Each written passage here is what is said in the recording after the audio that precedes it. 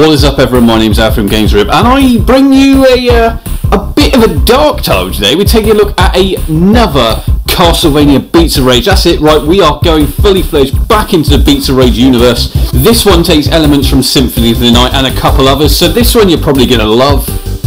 Let's just go for it, let's take a look.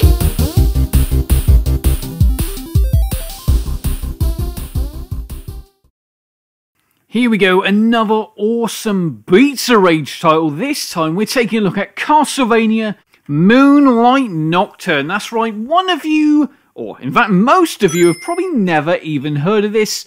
But don't get me wrong, there's so many Beats of Rage titles out there now that we just keep seeing new ones all the damn time, which I actually am starting to grow to love because it means we've got new stories, new ideas, tons of different new things happening. And that's great for any franchise.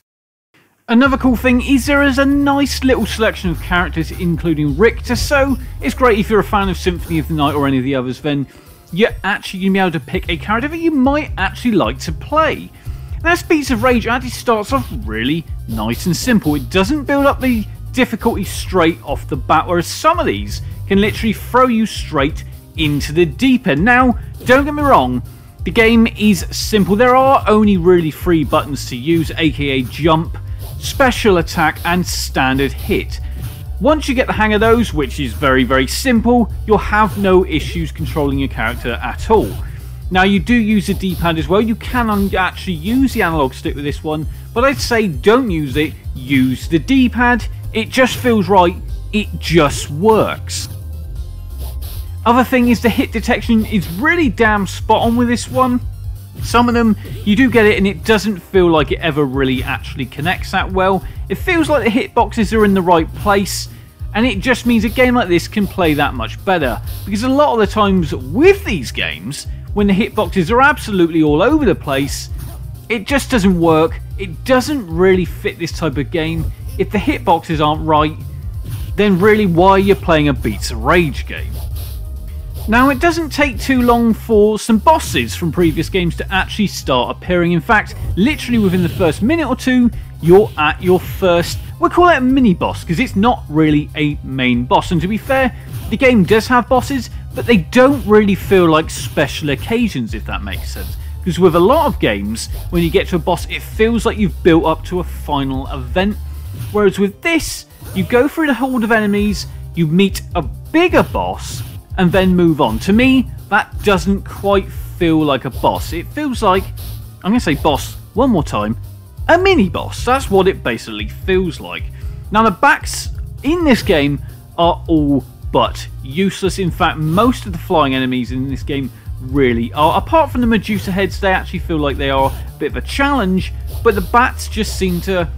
They seem to float around and not do a whole lot, which is a shame. Now, the good thing about this game is the balance of the enemies is actually really decent. And what I mean by that is your first amount of enemies, they're pretty much one hit kills apart from the armoured enemies.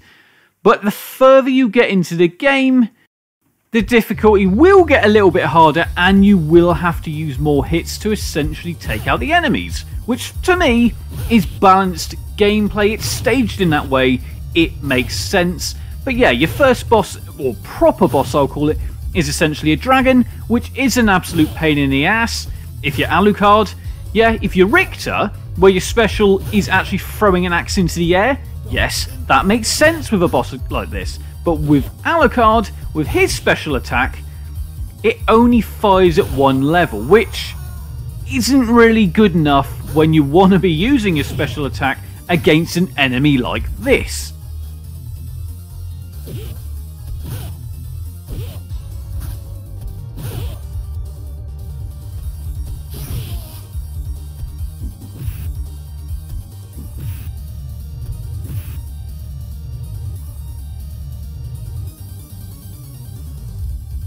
Now, as you'd expect, every level ends with a score count, which is a kind of boring looking page. I've got to be honest, I wish they put a little bit more effort into the stage complete screens, but it does what it does. It tells you your points and then it moves on to the next stage.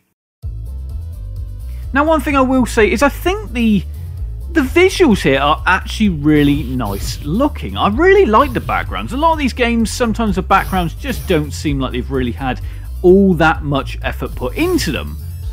But Moonlight Nocturne kind of feels like it actually does. I also like the, the little icon that says basically go to the next part of the screen. Really like that. It's a nice little callback to the original Castlevania.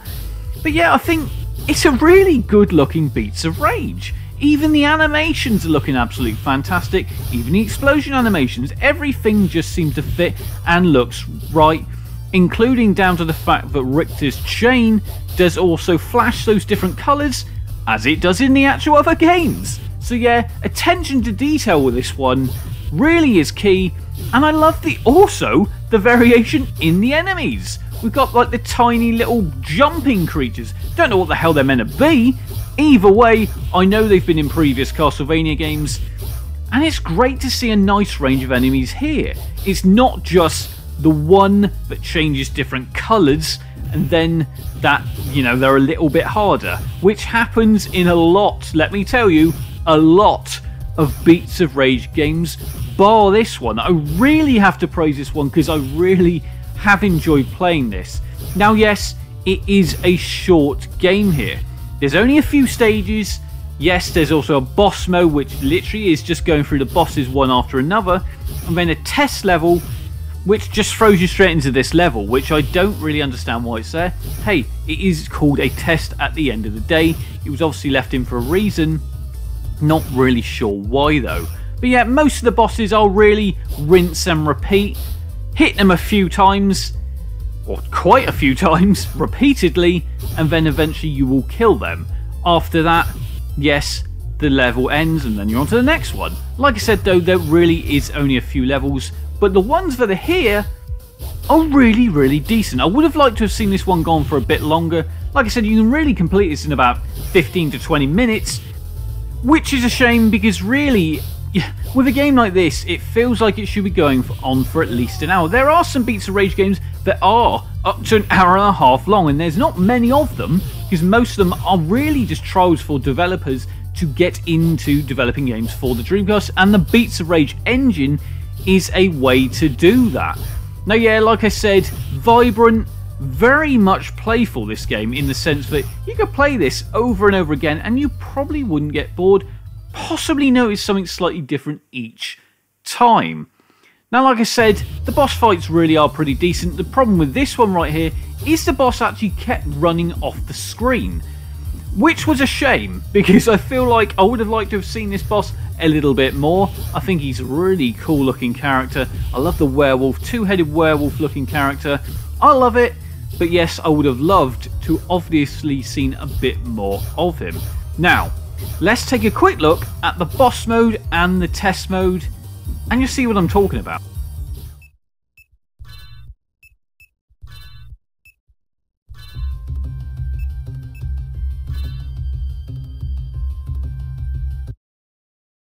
So, so this is it. This is Boss Rush. Yeah, it really is just rinse and repeat. You are just destroying the bosses. Which, hey, if you want that sort of challenge to get a decent score, I actually think this is a nice little addition to most Beats of Rage games. A lot of them do have this, and it's something that I actually quite like. So I'm, I'm certainly happy it's here. Now, yeah, to sum it all up, this is a fantastic little Beats of Rage. Castlevania Moonlight Nocturne. I really would 100% say give it a go. I think you like it, although very, very short. Could have been built upon a little bit more, made it a little bit longer, even stretched it to half an hour. But hey, it's a nice little Beats of Rage. Hope you've liked this one. Like, comment and subscribe. And if you'd like some more Beats of Rage reviews, do let me know, because there are there is a few coming.